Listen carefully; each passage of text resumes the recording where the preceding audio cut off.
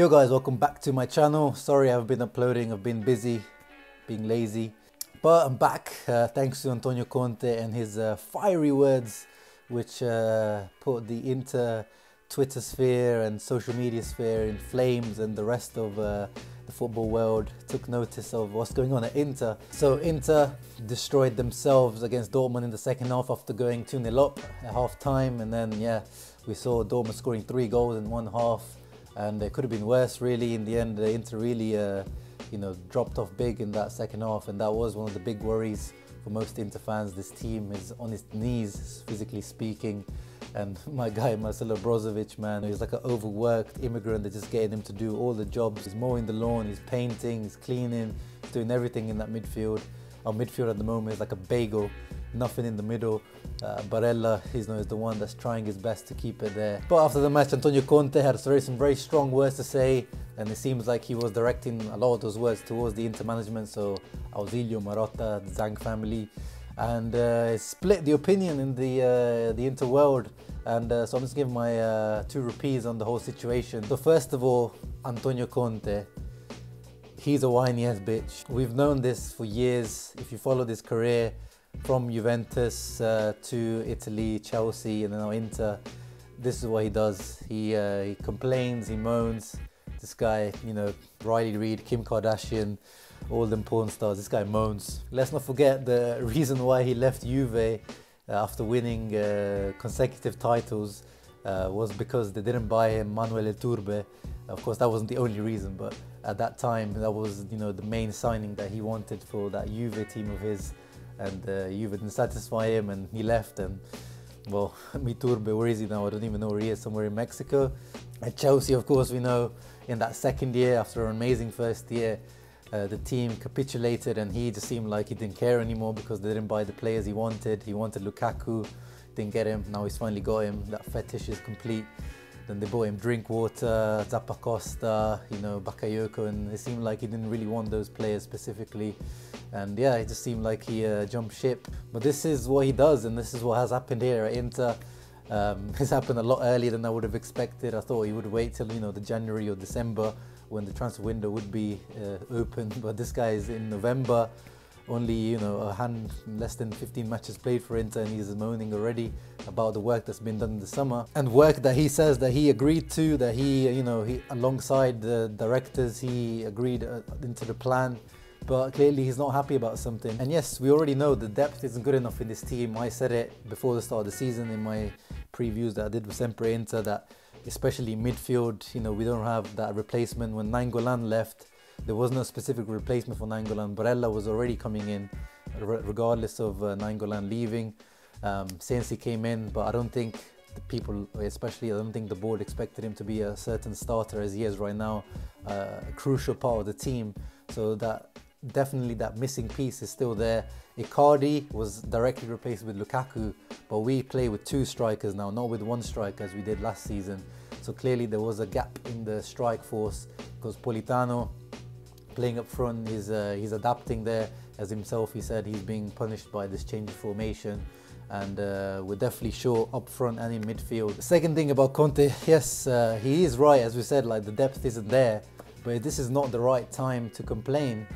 This is, you know, we're in November and the team is, you know, trying his best and he's putting out the same players on the pitch every week almost, especially Brozovic, um, Skriniar and Handanovic have played every single minute for Inter this season. You know, looking at some stats, uh, looking at the teams that, with the number of players uh, that have played 1,000 minutes or more this season, Liverpool are first with nine players that have played over 1,000 minutes, and I would say Liverpool have a lot more depth than Inter as well. Um, in second position, Manchester City played with eight and Bayern as well, and both those teams definitely have a lot more uh, depth than Inter, and that just shows you know you know when you have quality players, those players you know it's very hard to not play them. Uh, that's why they're you know top players, and that's what Antonio Conte has been doing with Brozovic, uh, Skriniar, and the rest. You know he can't, the team can't really do without them. But then there has to be a point where you know you see the diminishing returns from you know making the same decision you know, Borja Valero, we know he's old, it's slow, he's not going to keep up, but you know, a few minutes here and there surely can't be as bad as, you know, Brozovic having these lapses of concentration now because he's so physically, mentally drained. And you know, a lot of people have criticized the way he said his words as well, and I'm with them. You know, the way he was talking was not the right tone. You know, was very aggressive towards this, the board as well, and then the way he called out a couple of players, didn't call them out, but he said, you know, Barella and Sensi, they've come from Sassuolo and Cagliari, so I can't expect them to, to do much. Only Godin has a history of winning. You know, a lot of people think that that's a, a, a calling out Barella and Sensi individually, but I don't think so at all. He's just saying, you know, we can't expect these players to carry this team. They've just come from mid-table teams. And um, there was a funny meme relating to Asamoah, who was forgotten by by Conte when he said that only Godin has won something. You know, those are the points where you know I think Conte went wrong. But overall, though, I do agree with him. In the press conference uh, yesterday before the Verona match, he said the word alzare la asticella like seven, eight times in the whole press conference, which means raising the bar. And he kept saying that I'm here to raise the bar.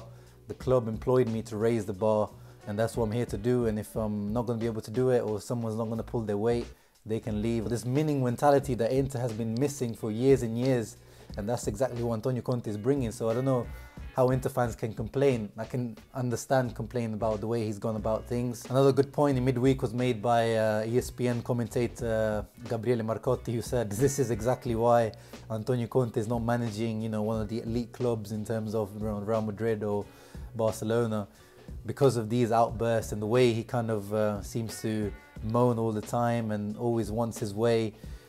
And you know, this team has been built very much in the Antonio Conte image. You know, we changed so many players in the summer. You know, we the players that he wanted out, most of them went out, and the ones he wanted in, most of them came in. I think the only ones that didn't come in in the end were Vidal from Barcelona that he wanted. You know, that would have been the direct replacement for Nainggolan, and um, or another midfielder and Edin Dzeko, as he said in the uh, post-match conference as well, which is fine. We know those are the gaps in the squad, but there's only so much Inter could do. We just left the FFP uh, restrictions, so there's only so much we can do. And then the way we sold our players was not ideal. Perisic went out on loan with an option. Icardi the same. Nainggolan just a loan. So you know the three most expensive players in our team or most valued players. Um, you know, those no money has come in from them. So it's very difficult for Inter to make those extra investments. I mean, we already spent 40 million on Barella. Um, Sensi is on loan with an option at the end, which we'll probably take, and then Lukaku with a big buy, of course, which is 65 million. So you know the Inter have made big investments for for Conte this uh, this summer. Let's not forget about Lazaro as well.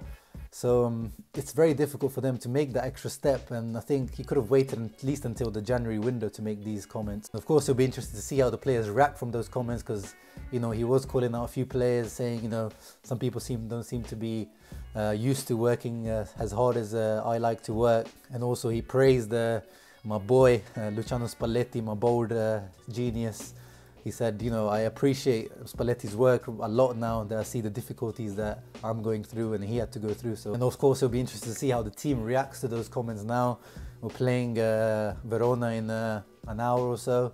So let's see how the players react to these comments and I'll uh, bring you a post-match reaction to see how things go. But uh, yeah, let me know in the comments below, guys. Like, what did you make of Antonio Conte's comments? Do you agree with them or is he just bang out of order? Um, and yeah, as I said, please guys, leave a thumbs up, subscribe. It really helps me out a lot. Brand new channel, trying to hustle my way through. And uh, yeah, see you on the next one. Ciao.